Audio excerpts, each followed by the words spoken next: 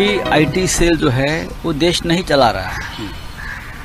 उनको लगता है कि बीजेपी आईटी सेल या फलाना फलाना पार्टी का आईटी सेल ये आईटी सेल के चक्कर में देश का नुकसान हो रहा है। समाज का नुकसान हो रहा है। जिस प्रकार की अफवाहें जिस प्रकार के भ्रम पैदा किए जा रहे हैं उसमें लोगों में घबराहट भी पैदा होती है और लोगों के मन में अलग तरह का भ्रम पैदा होता है। उस बारे में आईटी सेल जो है वो देश नहीं चला रहा है।